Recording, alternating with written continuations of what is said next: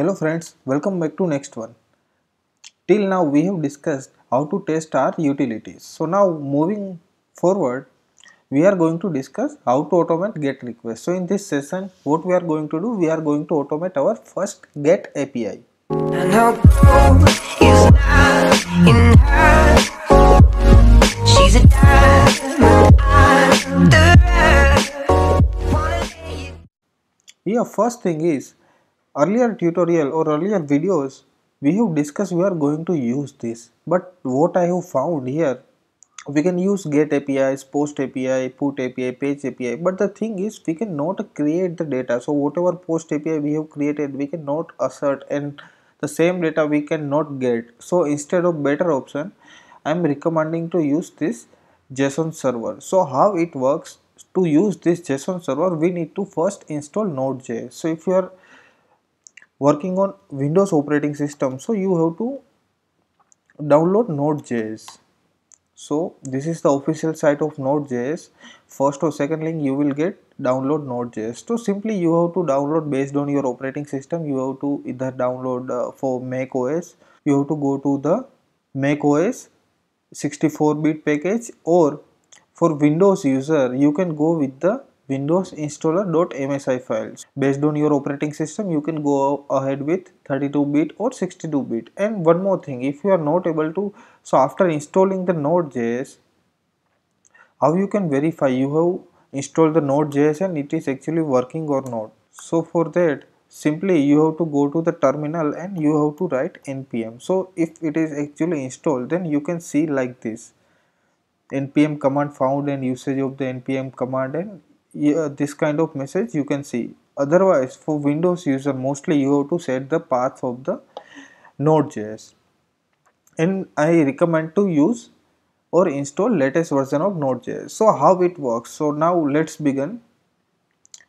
So if you go to the GitHub, so they have documented very nicely. So first we need to install the JSON server. So this is the command npm install g JSON and server. So if you are Windows user, you have set the path, then this command should properly work. And if you are Mac Mac user, and you are not able to execute this command or you are getting some errors so you can add sudo here so along with this so how it works so before this you have to add sudo and then you have to execute this command so i have already installed that so it is like that it will ask for the password.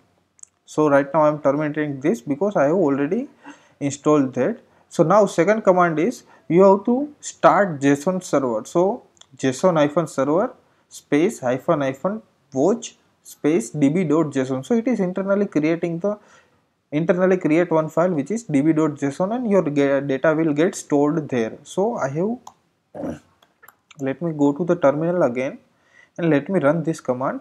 So whenever i am going to run this command so let me yeah, maximize so you can understand. Yeah.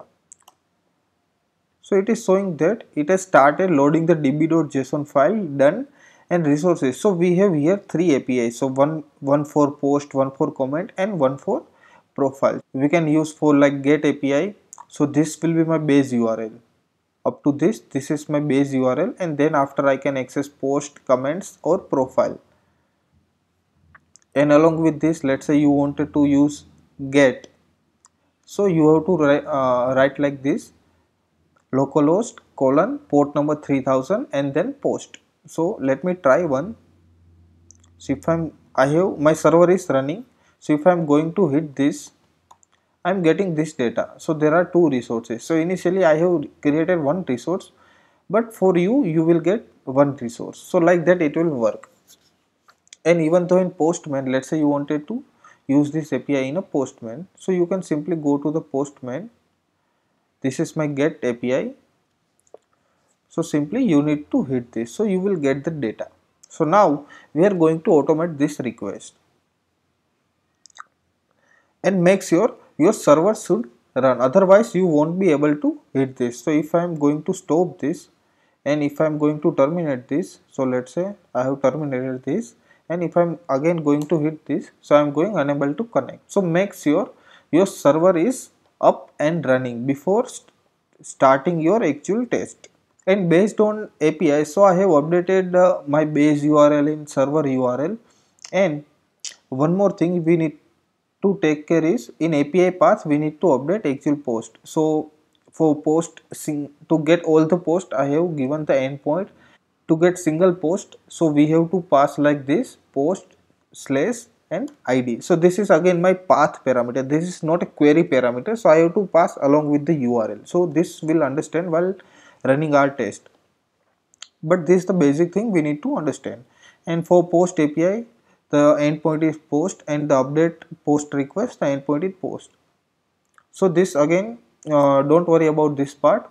Now first we are going to automate our first get request. So we'll start. So let me remove this. And this method will be my base test. And instead of test I am going to use before class so why before class? So what I'm going to do if you are not very much familiar with REST API how it works then you just simply go to the my previous tutorial. Let me go to the YouTube.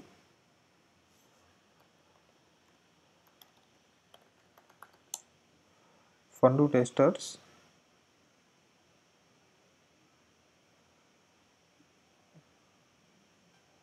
uh, if you go to the playlist section you will find the playlist is REST assured API automation framework so in first video I have explained the how the terminology works for the REST API.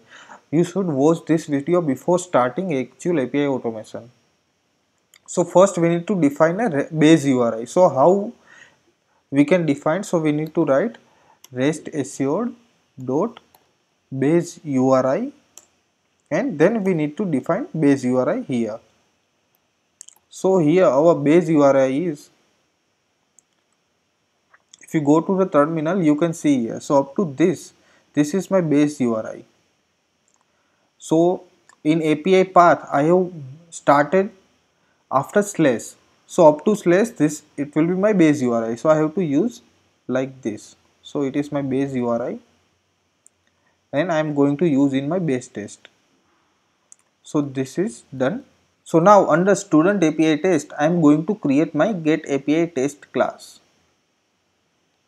So get api test. So i have created the class and what i have to do i have to just extend with my base test. Extend base test. So i have to extend it with base test. And now we can write our test here. So let me create one test method. Here we are going to use TestNG and let me write a method. Public void get API test. So this is my test method. And inside this I have to write my logic. So I have to import it. And what I have to do I have to simply write rest assured dot given dot when and get. So inside this we need to pass our endpoint. So how it works? So if you can go to here, yeah, you can see here. We have to pass parameter as a URI to send to the request. So in this we need to pass a endpoint of get request and it will return the response of the get request. So let me pass my endpoint. So I have to go to API path, then again API path. So this is my inner static class this is my outer class inside that I have inner static class and inside there I have static variables. So my endpoint will be here. Get list of post. So let me use this endpoint and let me hit this. So this is my complete get API so let me run this API as a TestNG test yeah so we can see here our test is running and we got a success message here and my test is passed. The thing is we have not logged the response. So what we need to do? We have to log the response. So how we, we can write dot then and log dot all. So now we can see what response it is returning so let me run it again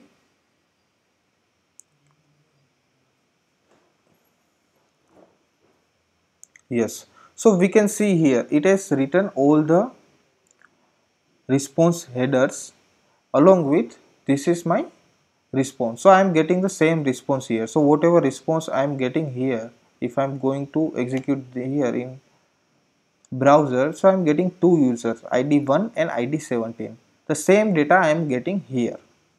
Now we are hitting our get request and we are logging the response now one more thing. This is not actual test. We are simply just hitting the get api after that we need to validate all the data. We need to validate response code. We need to validate response time. We are going to validate response body. So this all parameter we are going to validate. So there are multiple ways to do that. So simply here we can write status code and we can pass whatever status code. Let's say i'm getting 200 and let me run the test yeah so my i'm running my test and my test is passed because i'm asserting the status code is 200 and i'm actually i'm getting the status code as a 200 so my test is passed. So we can see here http status code is 200 if i'm going to use another response let's say i'm asserting with the 400 so my test will be fail so let me run it it is running yeah. So we are getting the even the we are getting everything. This is my re response headers response body. But what it is saying accepted status code 400 but it was 200 so that's why my test is failed. So we need to validate multiple things. So is it right way to do it or not? And another way is let's say I'm not going to use this. So another way is how can I do that? We need to write up to this semicolon and it will return me a response. So type should be response. So I have to create a local variable and this is my response. So using response variable I can do all this stuff. So response response dot get body dot as string. So this will return me a body. Then I can use system dot out dot println response dot get status code. So this will return me a status code. Then similar way I can perform multiple operations. Response dot get cookies so it will return all the cookies. And then uh, response dot get status code status line get time. So it will return me the time of that request. So there are multiple ways.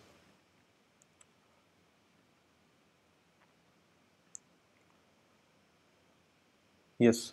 Or i'm running my test. So this is my first result so my first result is get body as a string. So it is returning the body then status code. I'm getting status code as 200 cookies. So there are no cookies. So it is giving me empty map object. So this will be return type as a map. So it is map string and string. So if there there will be any cookies then it will return me a cookies. But as of now there is no cookie. So it will return me empty map object or empty data. And status time. So status time is again 515 so what is this? 515 is a millisecond so i can see here the response time in milliseconds.